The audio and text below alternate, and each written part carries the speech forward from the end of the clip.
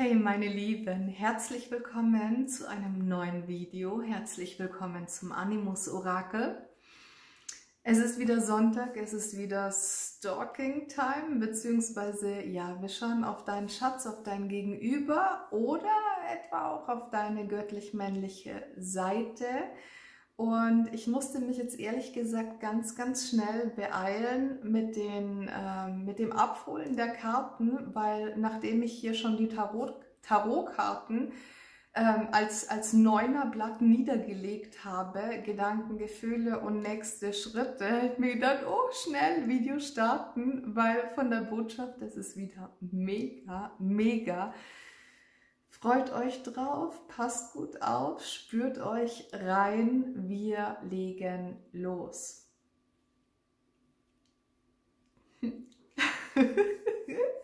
Jasmin wieder am, am Abdrehen.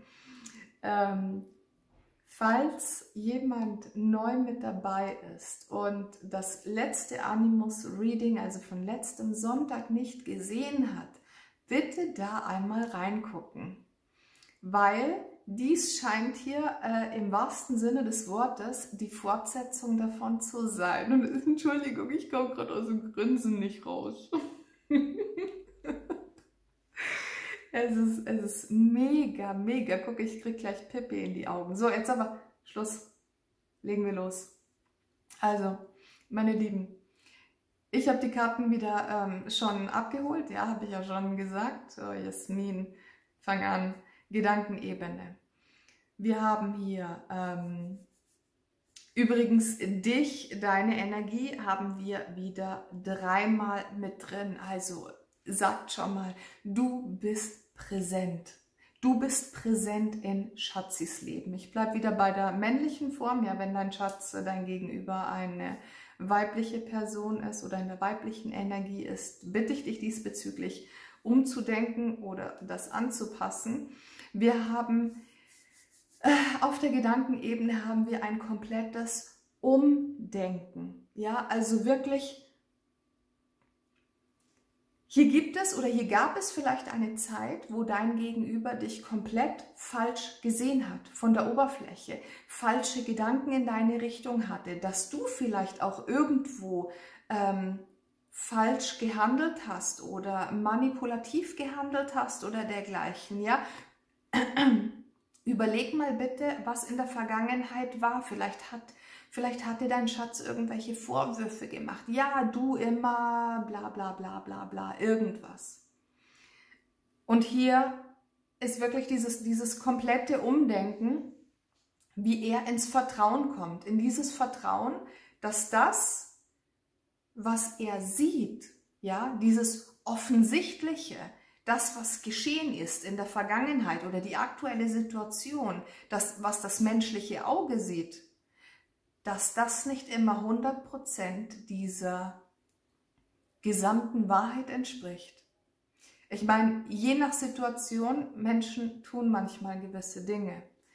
Ähm, also damit meine ich jetzt nicht irgendwelche schwerwiegenden äh, Sachen, Situationen, Verletzungen, ja, sondern man ist vielleicht mal wütend und macht irgendwas und sagt irgendwas, was dann vom Gegenüber gleich komplett falsch aufgenommen wird. Ja, weil derjenige selber mit gewissen Themen zu kämpfen hat und, und, und. Und das sind jetzt von solchen kleineren Situationen spreche ich hier. Und er ist gerade auf dem Weg in dieses Umdenken, dich mit anderen Augen zu sehen. Wir haben dich hier noch in dieser Energie der Schwertkönigin. Also er sieht dich eher noch so ein bisschen als, als ähm, herrschsüchtige Frau. Ja, weil ich habe hier eine schwerere Energie von dieser, von dieser ähm, Schwertkönigin. Das ist jetzt nicht diese, diese taffe, souveräne Frau, die ihre Entscheidungen trifft, sondern dieses alte Bild von dir in seinem Kopf wird komplett verändert. Also diese, diese Schattenseite der Schwertkönigin quasi ich sag ja, Transformation auf dieser Ebene, das ist heftig. Und wir haben hier als ähm, Liebesbotschaft, als Herzkarte haben wir hier das Vertrauen bekommen. Um etwas zu, verändern zu können, muss man es zuerst akzeptieren. Das heißt hier natürlich auch irgendwo diese Annahme, die Annahme deiner Person, dass es in Ordnung ist, wie du bist. Dass es in Ordnung ist, wenn du zu laut bist, zu leise bist, zu viel liebst, zu stark liebst, zu viel gibst oder dergleichen. Ja, also ich, ihr Lieben, ihr merkt schon, ich kann das schon wieder gar nicht in Worte fassen, was das für eine krasse Energie ist. Also dieses Bild, dieses verschobene Bild, das er in der Vergangenheit von dir hatte, dreht sich komplett, komplett, ja. Das ist jetzt natürlich nicht nur so dieses Ding äh, im, im Bewussten, an der Oberfläche, auf der kognitiven Ebene, hier spielt das Herz, also die emotionale Ebene, die, die unbewussten und unterbewussten Kräfte spielen hier ganz stark mit rein. Also das schiebt sich so ganz krass ins Bewusstsein. Das sehen wir hier, da bist du auch wieder ähm, doppelt drin, ja, in, in zwei Personenkarten quasi, als, als ähm, Münzkönigin und als hohe Priesterin diese Tiefe, das Verborgene, das er natürlich hier auch zulässt, zulässt, ja, also wirklich im wahrsten Sinne des Wortes, er spürt es, er spürt es, er lässt es zu und er lässt es auch wirken. Was ist das für eine krasse Sache? Ich meine, wir sprechen hier von, Gegen, von Gegenüberlein, ja, von Schatzi. Derjenige, der eigentlich am liebsten immer alles wegdrückt und mh, hm, ja, komm mir bloß nicht zu nahe, sieh dir nicht meine Schatten an, beziehungsweise ich habe vielleicht gar keine Schatten oder dergleichen. Und dann sowas. Er nimmt dich an. Er nimmt dich an, wie du bist. Ganz und komplett in deinem Sein. Ist jetzt natürlich, wir haben, wir haben die Zeit immer mal wieder äh, gegen uns, ja, gegen uns oder beziehungsweise ähm, das göttliche Timing sieht natürlich für jedes Wesen irgendwo einen anderen Zeitpunkt. Deswegen haben wir hier auch gleich so diese Aussage, so, hallo, Achterstäbe in Kopflage mit den anderen Karten das ist jetzt kein Ding, was von heute auf morgen passiert, ja. Und hier ist auch dieses Erwachen auf seiner oder dieses Annehmen innerhalb seiner emotionalen Ebene. Das passiert natürlich stückchenweise kann ich gar nicht sagen, weil das ist so ein Hineingleiten in die Tiefe, ja, in die Tiefe seiner Gefühle. Fühlt sich mega an. Und das Ganze wird ja auch noch bestätigt durch die Herzbotschaft, die da lautet, Umarmung. Du hast ein perfektes Gegenstück gefunden. Ist das nicht schön? Das ist so eine, so eine romantische Energie, ihr Lieben. Es ist so, oh, das ist, da könnte ich mich schon wieder reinlegen. Wirklich traumhaft. Schön, schön, schön. Ja, ich weiß. Dieser zeitliche Aspekt ist halt immer so ein Ding, wo man, wo man sich denkt, so, ach komm schon, jetzt warte ich schon Monate oder vielleicht sogar Jahre, ja, und jetzt tut sich endlich mal was, was sich ja zwischendurch, hat sich ja immer wieder mal was getan, aber dann ist er leider wieder in den Rückzug gegangen. Auch das ist natürlich keine Garantie, ihr Lieben, ja, ich meine, ähm, ein, ein Orakel sagt nicht die ultimative Zukunft. Die Zukunft ist in jedem Augenblick veränderbar. Aber zurück zur Zeit. Man denkt sich, ey, jetzt hat so lange gedauert und jetzt kommt was, in Bewegung und dann heißt es auch noch langsam. Geduld, abwarten. Hm, ja, meine Lieben, denkt, denkt daran, dass dieses Jahr explizit dafür da ist, erst noch aufzuräumen. Aufzuräumen, okay? Und zwar überall, in jeder Ecke. Großputz. Auch die Ecken, die man gerne mal zehnmal hintereinander auslässt, ja, weil man sich denkt, ach, da guckt eh niemand drin, kann ruhig verstauben. Mm -mm. Mm so, die Handlungsebene. Ähm, was haben wir hier? Auf der Handlungsebene haben wir die Erkenntnisse liegen. Ja, also das Ass der Schwerter, wo ich mir denke, so die Karte ist gefallen. Ich habe mir gedacht, so, aha, alles klar die Erkenntnisse, die Offenbarungen und auch die Entscheidungen, also hier in dieser Energie dreht es sich hauptsächlich um die Erkenntnisse. Dann aus, der, aus den Erkenntnissen folgt natürlich noch diese gewisse Entscheidungskraft oder dieses in die Handlung gehen und äh, tatsächliche Entscheidungen treffen.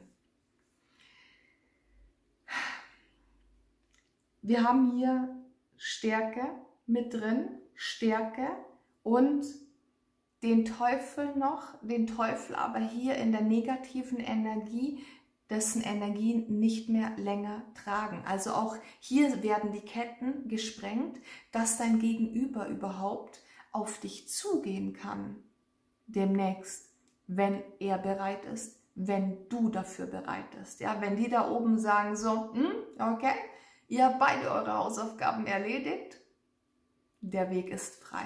Bitteschön. Ja, also hier auf der Handlungsebene, das ist noch so ein bisschen auf und ab, ein bisschen hin und her. Traue ich mich, traue ich mich nicht, soll ich, soll ich nicht, ist es schon der richtige Zeitpunkt? Aber auch hier ist es nur eine Frage der Zeit und es geht in kleinen Schritten, ähm, geht es hier wieder zueinander. Ich sage deswegen in kleinen Schritten, weil wir haben hier als Liebesbotschaft die Freundschaft bekommen, pflege die Bande der Freundschaft. Das heißt, wenn jetzt zum Beispiel ähm, lange, lange Zeit kein Kontakt zwischen euch ähm, bestand, dann könnte es sein, dass es hier erstmal losgeht in ganz kleinen Schritten, wie zum Beispiel, er entblockiert dich auf WhatsApp. Ja, also ich nenne jetzt einfach nur Beispiele. Oder er schickt dir eine Nachricht, hey, hallo, wie geht's dir so? Oder ich habe ein Foto von dir gesehen, du siehst toll aus. Oder, ja, das sind so blöde Sprüche, aber ähm, ähm, du siehst aus, als würde es dir gut gehen, das freut mich für dich. Oder ja, also so, so ein ganz, ganz vorsichtiges, ähm, so eine ganz vorsichtige Tuchfühlung wo er mal auf dich zukommt in irgendeiner Form. Ja? Wie gesagt, bei den einen oder anderen ähm, in der Reisegruppe bedeutet es, dass ihr einfach nur wieder entblockiert werdet und somit entsteht hier eine Öffnung. Eine Öffnung, wo das Feld dann einfach wirken kann. Ja, Gott, die Engel, das Universum, was auch immer. Also, wir haben auf der Handlungsebene jetzt einfach die Erkenntnisse. Wir haben die Stärke auch und dieser Gang in den Selbstwert, so, okay, ich kann mich ja mal aufbauen und mich in Bewegung setzen. Und wenn sie mir dann einen Korb gibt nach all dem, was war, dann ist es auch in Ordnung. Ja, da ist jetzt nicht so diese große Angst, so, oh, ich gehe erst gar nicht auf sie zu, weil sie weist mich sowieso zurück, weil wir hatten jetzt drei Jahre keinen Kontakt oder, oder, oder. Nee, hier ist Selbstbewusstsein mit drin und hier ist Leidenschaft mit drin. Dazu kommen wir dann gleich noch im Ergebnis oder im Outcome dann. Und ähm, das ist total schön, ja, auch dieses, dieses Loslassen von negativer Energie, das, was ihn bisher immer ein bisschen gefesselt hat, angekettet hat an die Vergangenheit auch und ihn so ein bisschen klein gehalten und unterdrückt hat. In den ein oder anderen Fällen sind hier natürlich auch gewisse Suchtthemen mit drin, wo er einfach erkennt, verdammt, diese Sucht, diese Abhängigkeit, egal in welche Richtung dies ging, hat mich von diesem Menschen, also von dir, ferngehalten, hat die Sicht hat mir die Sicht vernebelt in deine Richtung. Ja? Lauter solche, solche Gedanken und Gefühle und, und Erkenntnisse kommen hier hoch, die sich in der Handlungsebene ähm, so auswirken, dass er quasi immer mehr ein Stückchen in deine Richtung geschoben wird. Ja? Manche werden geschubst, die kriegen gleich mal einen Arschtritt, so das erstmal wuh, springen zu dir und die anderen, die werden halt immer so, jetzt geht's, hopp, noch ein Stück, noch ein Schritt und, und, und. Ja, was haben wir im Outcome? Da haben wir den, ähm, warte, welcher, was ist das jetzt? Shit. Ich bin mir jetzt ehrlich gesagt nicht ganz sicher, ob das der Ritter ist oder der Bube hier in diesem Kartendeck.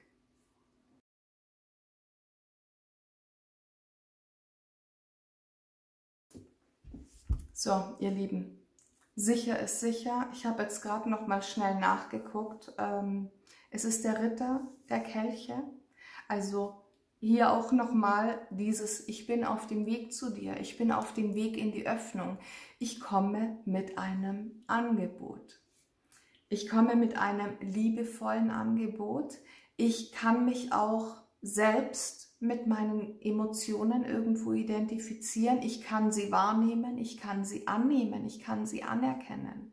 Diese Gefühle, die er für dich hegt egal wie stark sie sind zum jetzigen Zeitpunkt, ja. Aber allein schon diese Öffnung, das ist hammermäßig, das fühlt sich bombastisch an.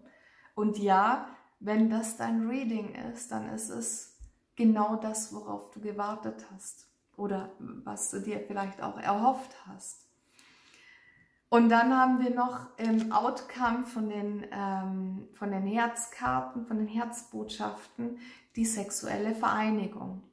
Respektiere den Ort im anderen, wo ihr beide eins seid. Ja, ja, und darunter ganz zufälligerweise der Seelenpartner, ja, der Seelenpartner ist, dein Seelenpartner ist im Geiste bereits bei dir, glaube daran. Also, ich weiß ja nicht genau, welches Angebot oder mit welchem Angebot er hier auf dich zukommen wird, aber ja, bei den einen oder anderen könnte es auch so ein bisschen ein, ein unmoralisches Angebot sein. Nein, es fühlt sich, es fühlt sich wirklich unheimlich liebevoll an. Sonst würde ich es nicht sagen. Ja, sonst würden hier auch andere Karten liegen und äh, dann würde ich, es auch von der Aussage, von der Botschaft eher heißen, ey, weißt du was, er hat wieder Bock auf dich und wird dich jetzt demnächst anschreiben, ja, also kannst gleich mal ignorieren oder so, ja, also so ist es nicht. So ist es nicht. Also es ist eine aufrichtige, eine aufrichtige und offenherzige Energie. Und ich meine, dass die Leidenschaft zwischen euch beiden ähm, besteht und lodert, wenn vielleicht auch nur klein wegen der Kontaktlosigkeit oder dergleichen. Ja, also macht ihr da keine Gedanken. Ja, wie ich finde, ihr Lieben, ist äh, war es jetzt auch nicht notwendig, irgendwie noch mehr Karten hinzuzufügen zu dieser Botschaft, weil die Botschaft eindeutig und klar ist. In diesem Sinne, genießt die Energie, lasst es auf euch wirken. Ich drücke euch ganz fest. Bis zum nächsten Mal.